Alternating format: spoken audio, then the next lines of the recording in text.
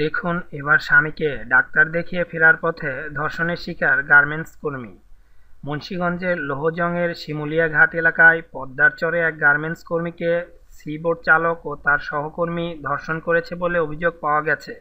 রবিবার দিবাগত রাতে স্বামীকে ডাক্তার দেখিয়ে বরিশাল থেকে ঢাকায় ফেরার পথে সিবোটে পদ্মা নদী পার হওয়ার সময় চালক ও তার সহকারী ওই গার্মেন্টস কর্মীকে জোর করে চরে নিয়ে ধর্ষণ করে। লোহজং থানার ভারপ্রাপ্ত কর্মকর্তা মোহাম্মদ আনিছুর রহমান ঘটনার সত্যতা নিশ্চিত করে জানান, রবিবার রাত আনুমানিক দশটায় ভিকটিম তার স্বামীর বাড়ি বরিশালের কাউনিয়া উপজেলার পলাশপুর গ্রাম থেকে ঢাকার উদ্দেশ্যে রওনা দেন। ফেরিতে করে লোহজংয়ের শিমুলিয়া ঘাটে আসার জন্য রাত বারোটা নাগাদ তিনি কাঁঠালবাড়ি ঘাটে এসে পৌঁছান।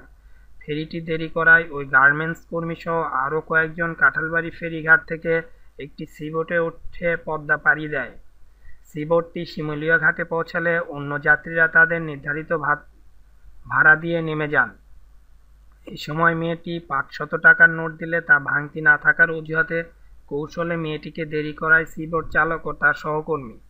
সাথে থাকা অন্য যাত্রীরা দূরে চলে গেলে সিবোট চালক ও সহকর্মী সেটিকে ঘুরিয়ে মেয়েটিকে নিয়ে পদ্মা নদী পাড়ি দিয়ে চরে যায়। সেখানে তাকে জোরপূর্বক ভয়ভীতি দেখিয়ে চর থাপ্পড় মেরে চরে নামিয়ে ধর্ষণ করে তারা।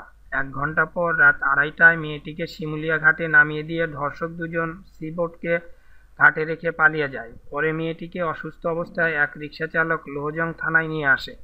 মেয়েটির বর্ণনা অনুযায়ী লোহজং থানার পুলিশ অভিযান চালিয়ে সাদা রঙের সিবোটটিকে শিমুলিয়া ঘাট থেকে জব্দ করে। পুলিশ ধর্ষক দুজনের পরিচয় উদ্ধার করেছে। একজন সিবোট চালক, লোহজংয়ের কুমাভোগ ইউনিয়নের ওয়ারি গ্রামের মজিদ কোম্পানির ছেলে রাজীব কোম্পানি ও অপরজন উপজেলার মেদিনী মণ্ডল ইউনিয়ন চন্দ্রের বাড়ি গ্রামের আব্দুল মালেক শিকদারের ছেলে মিঠু শিকদার। তবে পুলিশ তাদেরকে গ্রেপ্তার করতে পারেনি। এ বিষয়ে মেয়েটি নিজাবাদী হয়ে সোমবার লোহজং থানায় একটি ধর্ষণ মামলা দায়ের করেছে। মুন্সীগঞ্জ জেনারেল হাসপাতালে ডাক্তারি পরীক্ষা পুলিশ মেয়েটিকে তার নিজস্ব ঠিকানায় পাঠিয়েছে।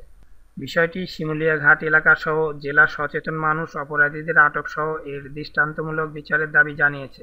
এই চ্যানেল হতে আপনারা যদি আরও লেটেস্ট নিউজ পেতে চান, তাহলে অবশ্যই সাবস্ক্রাইবের মাধ্যমে আমার সঙ্গে থাকুন। ধন্যবাদ সবাইকে.